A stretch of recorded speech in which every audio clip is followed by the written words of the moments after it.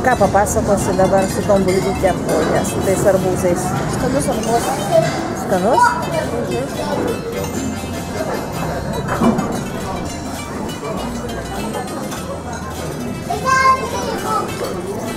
O melionai skanus? Jo. Rodyk, kas skanus. Mariau pažadė. Ką sakai? Mariau pažadė. Mariui tu čia sakai, čia Mariui. Kas